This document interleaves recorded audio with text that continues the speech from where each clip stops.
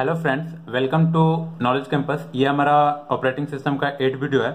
इस वीडियो में हम देखेंगे process state diagram process state diagram में हम एक्चुअली रिप्रेजेंट क्या करते हैं? कि प्रोसेस हमारा जब एग्जीक्यूट होता है तो वो डिफरेंट डिफरेंट स्टेट से होकर गुजरता है। तो वो कौन कौन से स्टेट होते हैं? एंड वो कौन कौन से कंडीशन होते हैं जब वो कोई भी प्रोसेस एक स्टेट से दूसरे स्टेट पर जाता है? ये सारे चीज़ को हम जो डायग्राम बनाकर जो रिप्रेजेंट करते हैं, उसको हम क्या बोलते हैं? प्रोसेस स्टेट डायग्राम सबसे पहले जो स्टेट आता है, वो स्टेट होता है न्यू स्टेट इस स्टेट में कोई भी प्रोसेस कब होता है? जब हमारा प्रोसेस अंडर क्रिएशन होता है. ठीक है? न्यू स्टेट में हमारा प्रोसेस अभी क्रिएट नहीं हो रहा है, अभी क्रिएट होता है. ठीक है? सबसे पहले, पहला स्टेट किसी भी प्रोसेस का कौन सा होगा? न्यू न्यू स्टेट के बाद जैसे ही प्रोसेस हमारा क्रिएट हो जाता है क्रिएट हो जाता है प्रोसेस देन वो क्या हो जाता है? दूसरे स्टेट में आ जाता है। उस दूसरे स्टेट को क्या बोलते हैं हम? रेडी स्टेट रेडी स्टेट तो मैं यहाँ पे लिख देता हूँ न्यू स्टेट में पहले अभी प्रोसेस क्रिएट नहीं हुआ था अंडर क्रिएशन था एंड जैसे ही प्रोसेस क्रिएट हो गया तो यहाँ पर लिख दीजिए क्रिएटेड प्रोसेस हमारा क्रिएट हो गया एंड क्रिएट होते ही प्रोसेस हमारा कहा गया? रेडी स्टेट में। अब रेडी स्टेट में प्रोसेस क्रिएट होगा तो आ गया। एंड प्रोसेस रेडी है कि आप उसको एग्जीक्यूट करो, उसको सीपीयू एलोकेट करो, लेकिन प्रोसेस को अभी सीपीयू एलोकेट नहीं हुआ है। प्रोसेस हमारे रेडी स्टेट में ही है। जैसे ही किसी भी प्रोसेस को आप सीपीयू एलोकेट कर दोगे देन वो क्या होगा? वो एक दूसरे स्टेट में चला जाएगा। एंड उस दूसरे स्टेट का नाम क्या होगा? रन स्टेट क्या होगा स्टेट का नाम? रन एंड रेडियो स्टेट है रेडियो स्टेट से जैसे ही किसी प्रोसेस को शेड्यूल किए मतलब शेड्यूल किए इट मीन्स क्या? उसको सीपीयू शेड्यूल किए सीपीयू एलोकेट किए। तो जैसे ही उसको सीपीयू शेड्यूल किए तो प्रोसेस हमारा कहाँ चला गया? रेडियो स्टेट में रनिंग स्टेट में। रेडियो स्टेट में था प्रोसेस को शेड्यूल किए एंड प्रोसेस हमारा चला गया रनिंग स्टेट में। अब प्रोसेस कहाँ है? रनिंग स्टेट में इट मीन्स उस प्रोसेस के पास क्या है? सीपीयू है। सीपीयू पर उस प्रोसेस में जो भी काम करना होगा, जो भी अर्थमेटिक या लॉजिकल ऑपरेशन को परफॉर्म करना होगा, वो अपना वहाँ पर ऑपरेशन परफॉर्म कर रहा है। ठीक है? अब सपोज़ कीजिए कि प्रोसेस हमारा रनिंग स्टेट में है, अपना arithmetic and logical operation perform कर रहा है एंड बीच में उसको कोई इनपुट आउटपुट डिवाइस से कोई ऑपरेशन परफॉर्म करना है। उस प्रोग्राम प्रोसेस है। एंड प्रोसेस में कोई एक ऐसा इंस्ट्रक्शन है जो इंस्ट्रक्शन में ये लिखा हुआ है कि उसको कोई इनपुट आउटपुट डिवाइस चाहिए। देन क्या होगा?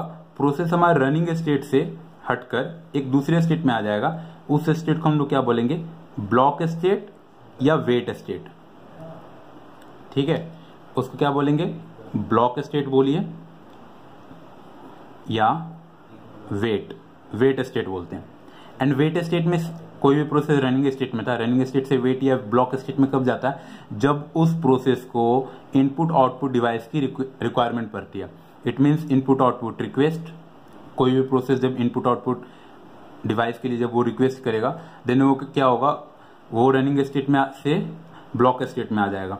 एंड जब तक वो कोई प्रोसेस ब्लॉक स्टेट में है, उतने टाइम में कोई दूसरा प्रोसेस रेडी स्टेट से सीपीयू में आ जाएगा।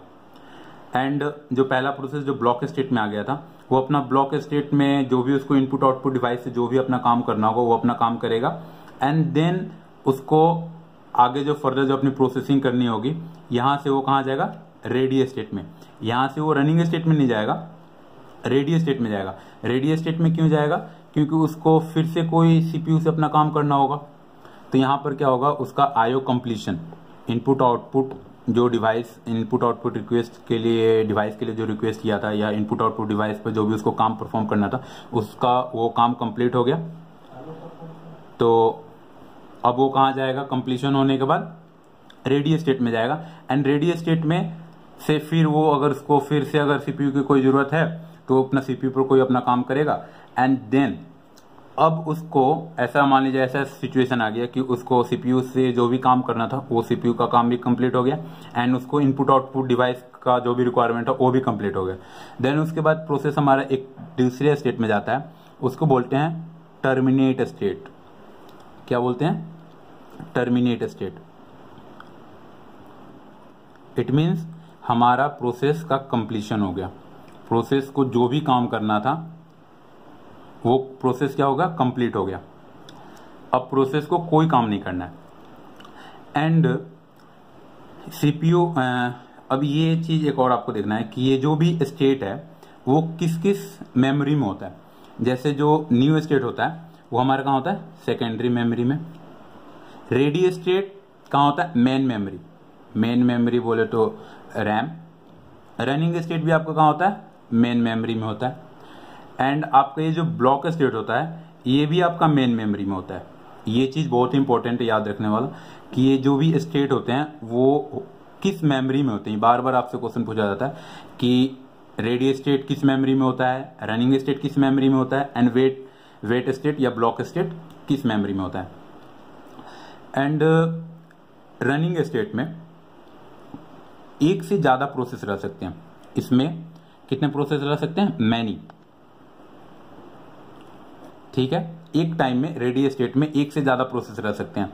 एंड रनिंग स्टेट में क्या होगा? Only one one at a time एक बार में रनिंग स्टेट में एक ही प्रोसेस होगा।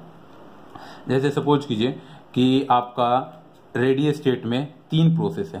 P one P two and P three P one P two P three and P one को, सबसे पहले पी वन आया। एंड पी वन पहले क्रिएट हुआ न्यू स्टेट में न्यू से जैसे प्रोसेस क्रिएट हो गया रेडियस स्टेट में एंड रेडियस स्टेट में आते ही आप क्या किए पी पी वन को सीपीयू शेड्यूल कर दिया पी वन के पास सीपीयू है, अपना सीपीयू पर जो भी उसको अपना काम करना कर रहा है। एंड ऑल ऑफ़ सडन एक दूसरा प्रोसेस आता है पी टू जिसकी प्रायोरिटी पी वन प्रोसेस से ज़्यादा है। ठीक है? जैसे आपके पास एक हायर प्रायोरिटी का प्रोसेस आता है, जिसकी प्रायोरिटी वैसे प्रोसेस से ज़्यादा है जो प्रोसेस के पास हमारा सीपीयू है। तो हम उस सिचुएशन में क्या करते हैं? लोअर प्रायोरिटी वाले प्रोसेस के से जो हमारा रनिंग स्टेट में है, उसको क्या कर देंगे, हम भेज देंगे? रेडी स्टेट में। यहाँ पर हमारा जो पहले P1 था, यहाँ पर जो पहले P1 था, उस P1 को हम लोग क्या किए यहाँ से रनिंग स्टेट से हटाकर रेडी स्टेट में भेज देंगे। एंड सीपीयू अब किसको शेड्यूल कर देंगे? P2 को, क्योंकि P2 की प्रायोरिटी क्या है? P1 से ज़्यादा है।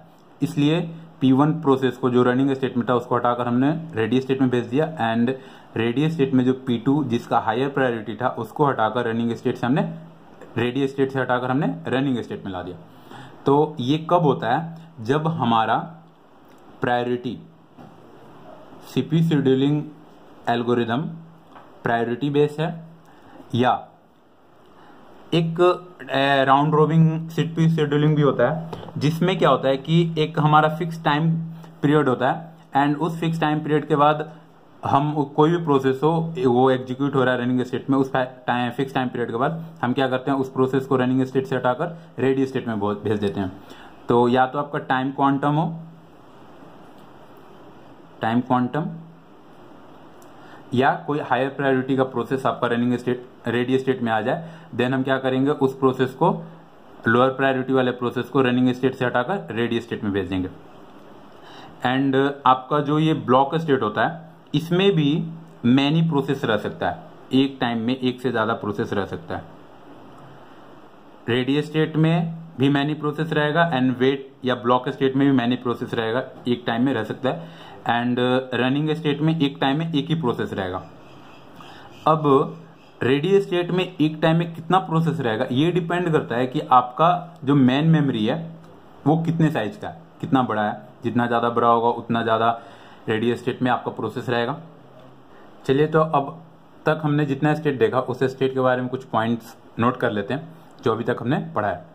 न्यू स्टेट न्यू स्टेट हमारा सबसे पहला स्टेट होता है। एंड उस स्टेट के बारे में क्या मैंने लिखा है? When the process is under creation then we say that process is in new state जब हमारा प्रोसेस अंडर क्रिएशन होता है, अभी क्रिएट नहीं हुआ रहता, अभी क्रिएट होते रहता है, उस टाइम हमारा प्रोसेस कहाँ होता है? न्यू स्टेट में. And it is the first state of the any process कोई भी प्रोसेस का पहला स्टेट कौन सा होगा? न्यू स्टेट क्योंकि कोई भी प्रोसेस बिना क्रिएट किए एग्जीक्यूट तो होगा ही नहीं. सबसे पहले प्रोसेस को हमको क्रिएट करना होगा. एंड जब तक प्रोसेस क्रिएट होते रहता है, वो प्रोसेस किस स्टेट में होता है? न्यू स्टेट में। एंड जैसे ही प्रोसेस हमारा क्रिएट हो जाता है, वो किस स्टेट में आता है? रेडियो स्टेट में। And when the process is waiting to be assigned जब हमारा प्रोसेस क्या करता है? वेट करता है। असाइन टू ए प्रोसेसर हमारा प्रोसेस प्रोग्राम क्या कर रहा है? प्रोसेस क्या कर रहा है? वेट कर रहा है कि उसे प्रोसेसर असाइन किया जाए। Then we say that process is in ready state. जब हमारा प्रोग्राम वेट करता रहता है कि उसे कोई प्रोसेस प्रोसेसर असाइन हो देन वो प्रो, आ, प्रोसेस किस स्टेट में होता है? रेडी स्टेट में होता है। Many process can be in ready state एक टाइम में बहुत सारे प्रोसेस क्या हो सकते हैं? रेडी स्टेट में हो सकते हैं। एंड उन सारे बहुत सारे जो प्रोसेस हमारे रेडी स्टेट में है उसमें से हम किसी एक प्रोसेस को रेडी स्टेट से हटाकर निकालकर किसमें ले जाएँगे? रनिंग स्टेट में ले जाएँगे। From the group of many process from the group of many process जो हमारे रेडी स्टेट में बहुत सारे प्रोसेस का जो ग्रुप है in ready state one of the process is selected and assign to the processor जो बहुत सारे प्रोसेस का हमारा जो ग्रुप है रेडियो स्टेट में, उसमें से हम क्या करेंगे? किसी एक प्रोसेस को उठाएँगे सेलेक्ट करेंगे एंड उसे क्या करेंगे? प्रोसेसर असाइन कर देंगे। देन हमारा जो प्रोसेस क्या होगा? रेडियो स्टेट से कहाँ चला जाएगा? रनिंग स्टेट में। When the process is been executed then the process will be in running state जब हमारा प्रोसेस एग्जीक्यूट होते रहता है, चलते रहता है, जो भी उसको अर्थमेटिकल लॉजिकल ऑपरेशन जो करना है, वो होते रहता है, करते रहता है देन हम क्या बोलते हैं, हमारा प्रोसेस किस स्टेट में? रनिंग स्टेट में only one process can be in running state at a time किसी एक टाइम में रनिंग स्टेट में कितने प्रोसेस हो सकते हैं? एक ही हो सकता है। लेकिन रेडियो स्टेट में एक टाइम में कितने प्रोसेस हो सकते हैं? मैनी प्रोसेस एक टाइम में मैनी प्रोसेस हो सकते हैं रेडी स्टेट में, लेकिन रनिंग स्टेट में एक टाइम में एक ही प्रोसेस होगा। वेटिंग स्टेट वेटिंग स्टेट में प्रोसेस हमारा कब होता है? When the process is waiting for some event to occur कुछ इवेंट के अकर होने के लिए जब हमारा कोई प्रोसेस वेट करता रहता है, और वो कौन सा इवेंट होता है? Such as input output request और wait for sub process termination sub process क्या होता है? कभी कभी कोई प्रोसेस जब एग्जीक्यूट होते रहता है देन उस प्रोसेस का भी एक कोई दूसरा प्रोसेस चाइल्ड प्रोसेस होता है। पहले वो टर्मिनेट होगा एग्जीक्यूट होगा देन वो मेन प्रोसेस हमारा एग्जीक्यूट होता है। तो वैसे प्रोसेस को क्या बोलते हैं? सब प्रोसेस बोलते हैं चाइल्ड प्रोसेस बोलते हैं। तो हमारा जो भी प्रोसेस है, वो वेटिंग स्टेट में कब होता है? जब वो वेट करते रहता है कि उसका सब प्रोसेस या चाइल्ड प्रोसेस टर्मिनेट हो, वो पहले कंप्लीट हो, या जो उस प्रोसेस ने इनपुट आउटपुट रिक्वेस्ट के लिए इनपुट आउटपुट रिक्वेस्ट किया एंड उसको इनपुट आउटपुट डिवाइस एलोकेट हो गया। तो इनपुट आउटपुट डिवाइस पे जो भी वो, उसको अपना ऑपरेशन परफॉर्म करना होगा। जब तक वो इनपुट आउटपुट डिवाइस पे अपना ऑपरेशन परफॉर्म करते रहता है, तब तक वो किस स्टेट में होता है? वेटिंग स्टेट में। It means input output device पर अगर कोई प्रोसेस अपना ऑपरेशन परफॉर्म कर रहा है तो वो वेटिंग स्टेट में होगा। या अपने किसी सब प्रोसेस के टर्मिनेशन का वेट कर रहा है तो किस स्टेट में होगा? वेटिंग स्टेट में। एंड वेटिंग स्टेट में एक से ज़्यादा प्रोसेस एक टाइम में हो सकते हैं। More than one process can be in waiting state waiting state में एक से ज़्यादा नंबर ऑफ़ प्रोसेस हो सकते हैं।